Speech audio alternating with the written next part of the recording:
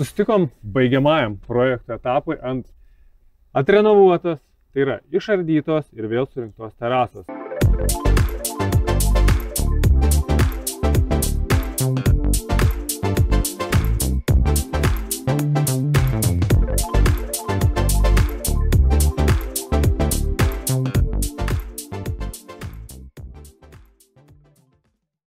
Jinai jau tris mėnesius čia stovi ir jinai jau matė ir vasaros kaitros, ir žiemos šalčio. Ir aš kai meistras, pavyzdžiui, žiūriu, vaikščiu tą rezultatą, nu, aš visada darydavau tik tai naujus daiktus. Iš naujų lentų, naujos terasas ir, nu, čia kaip sakau, tai nėra fenkšų, ką aš dažniausiai įpratęs matyti. Tai ir geometrija, ir pasisukiojimai, ir suaižėm šios lentos, ir panašus dalykai. Nu, Sauliau, fenkšui šitos terasos yra netame. Tai esmė yra, kad mes išsaugojom daiktą. Ir iš trijų terasų surinkom dvi ir jūs surinkot dvi. Tai buvo nelengvas darbas, nes pločiai skiriasi, aukščiai lentų skiriasi, reikia pritaikyti kiekvieną lentą.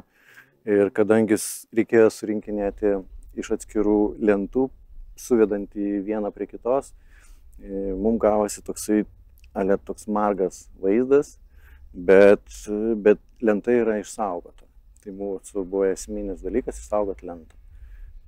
Daugeliu, aišku, aktualus klausimas, kaip finansinis. Finansiškai mes irgi čia sutaupėm, nu, 10 tūkstančių ir daugiau suma. Tai, nu... bendrai, bendrai sutaupėm, bet sutaupimas ne tik tame, kad mes sutaupėm pinigus, bet tai sutaupėm ir išteklius pasaulinius. Nes jeigu šita lenta tarnauja, turi tarnauti 20-25 metus, o po 10 metų turėtume mes ją išmesti. Tai tas nu, būtų... Vartotojo sąžinė. Vartotojo sąžinė ir mūsų visų sąžinė. Ir jeigu mes tai žinom ir galim ir matom, kad šitą lentą įsaugot vertą, mes tą ir padarėm. Maksimai, visi tikisi, kad kietmedis bus vaizdas kaip už milijoną baksų. Šičia vis dėlto nu, mes to iki milijono dar šiek tiek trūksta.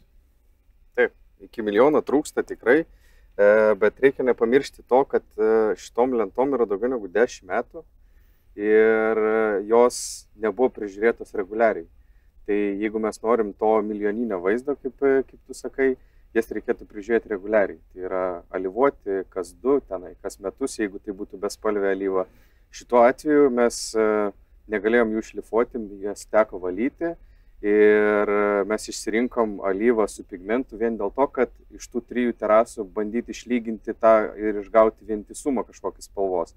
Tai pats klientas išsirinko su pigmentu, nes jam buvo gražiau ir dabar turim aišku tokį vaizdą, šiek tiek jis nėra tolygus, bet jisai e, yra žymiai geresnis negu buvo prieš tai. tai va. o jeigu aš būčiau bespalvę alyvą nuvaręs? Būtent šituo atveju tai būtų dar blogesnis vaizdas, nes nuplovus tas lentas, jos visos buvo dėmėtos ir panašiai, tai e, ne tas rezultatas tikrai, ko, ko reikėtų tikėtis su bespalvė lyva. Bespalvė lyva tai reikėtų ant naujų lentų, vat, kaip sakai, tu fenkšui pas te naujos e, visos tos alyvos, e, terasos. Tai tada taip, bespalvė turbūt e, duotų tą vaizdą, kurio kurio reikėtų, bet šituo atveju renovacija ir su pigmentu geresnį tikrai vaizdą gavom negu su bespalvė. Tai jeigu dabar mes turime rezultatą geresnis negu buvo, tai su bespalvė ko gero būtume blogesnis negu buvo. E, vaizdas būtų tikrai, tikrai prastesnis, nes kiekviena dėmė, kiekvienas pastatymas kažkokio tai vazono kibiro būtų matomas ir išryškintas. Gerai, Laurinai, tu esi renovacijų ekspertas, žiūrėk, mes pasidarėm terasą, aš atvargau, kaip sakai, skirtingi pločiai, bet vaizdas nėra toks, kokio tikėjomės. Koks šitos terasos likimas? Ar ją galima vėl turėti kaip lėlę? Milijonas baksų. E, šit, šitos terasos likimas yra aiškus ir šiaip ilgamžės toliau. Šita terasa dar tik pradeda atgimti. Ja mes išsaugojom, praeis metai arba du, saulė nudegins, lentos stabilizuosis, sus, e, sustos lentos vaikščioti maždaug ir ją nušlifuojam visą, tada nutepam bespalvę alyvą ir padarom kaip naują. Tada, bet visas šitas mūsų procesas, pats matai, užtrunka ne metai, o metus laiko mes ją stabilizuojam, i- išsaugojam, per kitus du metus mes ją atstatom, Taip. tada priežiūra, priežiūra, priežiūra, priežiūra ir šitos lentos atitarnaus tikrai savo 20-25 metus. Vaizdas už milijoną. Po dviejų metų bus kaip nauja. Tai ko gero frazės, kurios sukėlė ne vienam gerbėjim šypseną. Ypač tiem, kurie pikdžiugiškai žiūri ir galvoja, kur kokia nesąmonė leptels. Bet, žiūrėk. Mes turim terasą, jinai sumontuota lygiai tuo pačiu metu kaip ir tos, kur prieš 10 metų. Bet mes jas nušlifavom, padengėm bespalvę alyvą ir vaizdas jau kaip nauja, jau už milijoną baksų.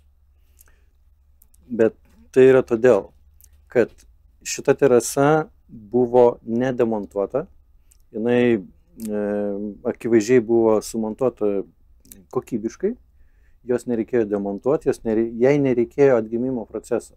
Ir mes ją galėjom vietoj, nedemontavus, nušlifuoti, padengti bespalvę alyvą ir gauti tokį rezultatą. Tai kaip ir anos terasos, dabar atgimsta, stabilizuosis, jų nereikės demontuoti, jas nušlifuosim ir gausim tokį patį vaizdą kaip čia ir ant stogo. Tai iš principo šita terasa buvo sumontuota kokybiškai, atsižvelgiant jos eksploatacijos sąlygas, plus mums nereikėjo jos demontuoti ir praleistas visas atgimimo laikotarpis. Taip. Ir, Ir- ir išsaugojom mes metus arba netgi daugiau, daug darbo ir turim puikų vaizdą už milijoną. Kągi, ponai, turėjom tikrai tokį sudėtingą projektą ir daugeliu ko gero iškyla klausimas. Renovacija. Ar vis dėlto verta veltis į visą tą vargą? Šiaip protinga renovacija visada duoda savo vaisius. Labai reikia atskirti, ar galim tą produktą e, atnaujinti, ar neverta. Šiuo atveju buvo verta tiek pinigų atžvilgių, tiek vertybėm visom. E, Čia aišku ir nuo užsakovo priklauso, kad jisai pasiryžo šitam ilgam procesui ir išsaugoti šitą produktą. Beje, šitoje vietoje aš noriu įsiterpti apie renovaciją, jam, praka... ne jis pats sugalvojo, tai yra vidaus grindis renovavo senas, senas grindininkas, labai didelė patirtis, jis pamatė tas lentas, sakė, tu turi unikalų produktą, renovuok. Ir tik tai po to aš atsiradau jų gyvenime.